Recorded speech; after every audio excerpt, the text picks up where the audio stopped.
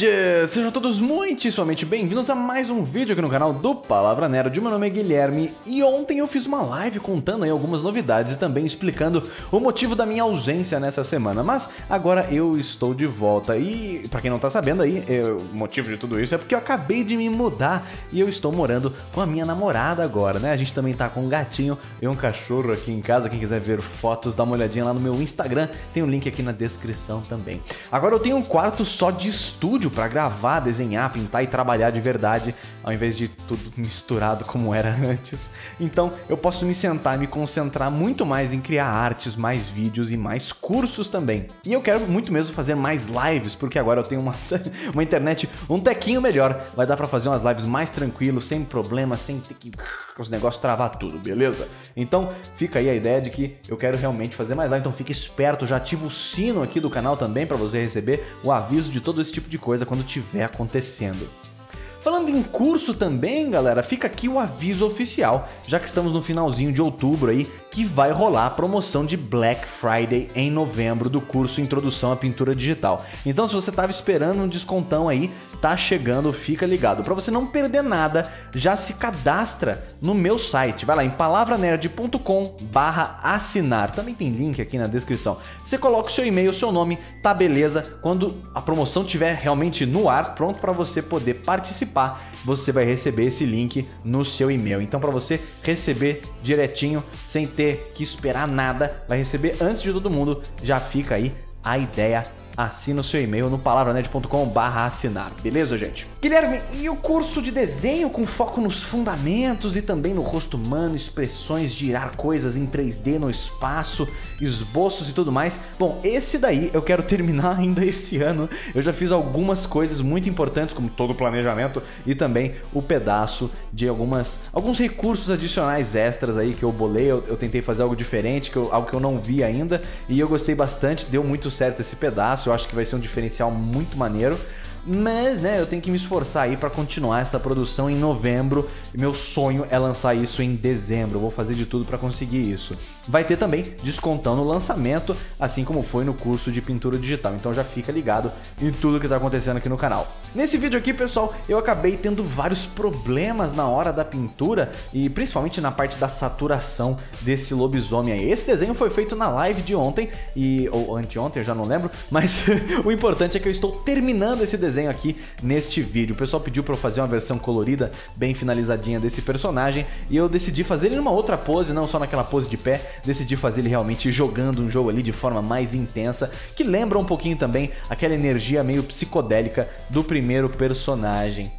O principal problema, acho que na minha cabeça aqui, é que eu não tinha uma ideia muito clara de que tipo de cor eu realmente queria dar para ele, né? Eu, eu, achava aquele cinza muito estranho, eu queria que ele tivesse variedade nos tons do pelo, né? Que tivesse alguma outra coisa acontecendo ali, mas eu acabei não lidando com isso muito bem nesse começo. Então, esse vídeo aqui vai ter uma boa mudança no processo e no jeito que eu tô fazendo a pintura, mais ou menos na metade em diante ali.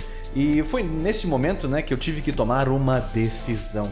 E é sobre essa decisão que eu quero aqui conversar com vocês, né? Seja na arte digital, tradicional, ah, quando as coisas não estão funcionando exatamente como você pretendia no começo, às vezes é preciso ter ali bastante coragem para começar novamente. E no caso de materiais mais tradicionais, né? Muitas vezes não dá para continuar remendando e o jeito é jogar tudo fora, começar de novo do zero. O do digital é que sempre dá para você aproveitar um pouquinho mais o trabalho anterior, ah, já que muitas coisas funcionam é, de forma assim infinita, né? O papel tem um limite que você pode apagar, ou pintar, ou preencher com camadas. O digital, o, o limite é só a sua imaginação e, lógico, o HD do seu computador, né?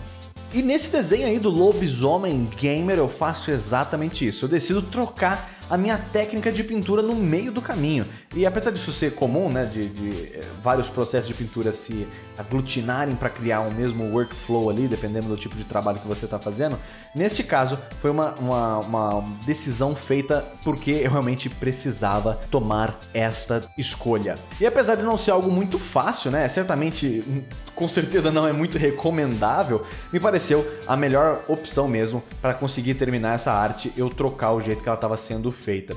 Vocês podem ver aí que eu estou usando cores mais claras e mais escuras para definir luz e sombra, e também estou dando um um troquezinho aí para ver se a saturação dá uma aumentada.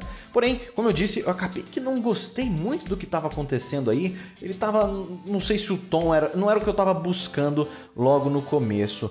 E eu fui meio que nessa direção no começo, principalmente porque eu acho que o desenho antigo é muito escuro, muito cinza, e eu queria algo mais claro, mais vibrante, mais saturado, e eu acho que eu acabei pegando um pouco pesado aí.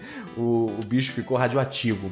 Então já chegou uma hora ali que eu já não suportava mais ver o que estava acontecendo, eu não sabia para onde ir. Eu estava adicionando detalhes, adicionando detalhes, adicionando detalhes, mas o, o básico não estava me agradando. Então eu dei uma pausa, olhei bem porque eu tinha feito ali e decidi tirar a cor toda e terminar a arte com a técnica do dragão branco. E isso é muito importante, pessoal. Muitas vezes você só vai precisar persistir mais um pouquinho, né? Tem coisas que você arruma ali com mais persistência às vezes você vai ter mesmo que dar uma limpada e começar novamente. E não tem nada de errado nisso, né? É perfeitamente normal você ver que o, o, conjunto das decisões que você tomou naquela arte em particular não te agradaram e você vai preferir retomar isso do começo uh, ao invés de ficar só ali insistindo naquilo até ficar bom, né? Às vezes esse até ficar bom não chega e é por isso que você tem que ver o que você está fazendo e fazer algo diferente. E nesse ponto, o que realmente me ajudou é ter em mente a possibilidade de processos de pinturas diferentes. Se você só sabe fazer algo de uma forma só, fica muito complicado tentar de novo de um outro jeito, né? Se você só faz as coisas de um jeito só. Por isso, pesquisar e descobrir novas formas de criar pinturas pode ser muito útil mesmo para você resolver problemas diferentes. E se você quiser aí já aproveitar que eu vou fazer um jabá também, se você quiser conhecer mais detalhes, né, como é que eu faço essa técnica aí da pintura do dragão branco, dá uma olhadinha no meu curso Introdução à Pintura Digital, que lá eu mostro esses dois métodos diferentes, né, com direto com cor ou nessa forma que você pega no preto e branco e depois adiciona cor por cima, que é uma maneira muito legal também de você ir aglutinando vários tipos de trabalho, né, de métodos de trabalho, para que você sempre tenha ali uma opção quando as coisas ficarem mais ou menos difíceis. E sempre vai ter esse momento, pessoal. Uh, isso é uma coisa que eu gosto de, de, pensar muito sobre arte, a ideia de que sempre é difícil, sempre existe um desafio, sempre existe uma barreira que você precisa atingir. E é legal que você procure esses desafios, né? A parte do, da zona de conforto é muito importante também, né? Existe um momento ali em que você faz somente aquilo que você já sabe que consegue e essa área, por mais que ela seja gostosa e você vê o resultado dos seus trabalhos, você acha legal e tudo mais, essa área aí, ela é muito perigosa porque ela não te estimula o crescimento, né? Ela te estimula só a continuar fazendo aquilo que você já está fazendo. E é muito legal poder uh, ter esse, esse desbravar aí de novas técnicas, de novas ideias, de novas coisas. Isso é o que eu estou fazendo também, eu gosto muito de fazer isso até com outras mídias que tem a ver com arte digital. Uma dessas é o 3D, eu acho que complementa muito aquilo que eu gosto de fazer também. E com certeza existem um milhão de outros tipos de assuntos que eu gostaria de tratar aqui no canal também. E eu espero poder trazer esses conteúdos para vocês também aí no futuro. Eu sei que ah, aí nesse momento do, do desenho eu já estava muito mais tranquilo, eu já estava assim muito mais satisfeito com o que estava acontecendo comparado com aquele azulão bem forte que tinha antes. Eu vi que esse cinza e esse branco faz um lobo muito mais interessante para mim, que tem muito mais apelo para mim do que aquele lobo azul né, galinha pintadinha. E, e, e, eu gostei realmente de ver como que aquele conceito inicial conseguiu gerar aí depois de alguns anos uma ideia tão diferente, né? Tentando ali ser mais fiel à ideia de um lobo, de um personagem que tem cara de lobo. Agora eu tentei dar essa cara de canino para ele. Antes ele tinha uma cara ali, mas não era muito óbvia essa aparência de lobo dele, pelo menos não para mim. E eu gosto muito de tudo que aconteceu aí. Lógico, eu espero daqui a algum tempo olhar para esse desenho e falar: "Meu Deus, que coisa horrível, tem tanta coisa para arrumar aqui". Porque é só aí que você percebe que você evoluiu.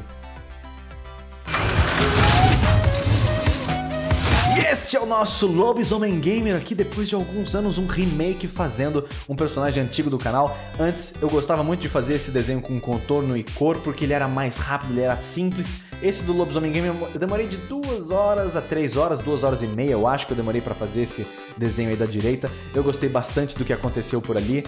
E é isso aí, pessoal. Espero que vocês tenham curtido mais este vídeo aqui no canal do Palavra Nerd. Para não perder nenhum desconto, nenhuma promoção, nem nada que vai acontecer aqui no curso e no canal, assina o seu e-mail no palavranerd.com assinar. E a gente se vê no próximo, galera. Valeu e falou!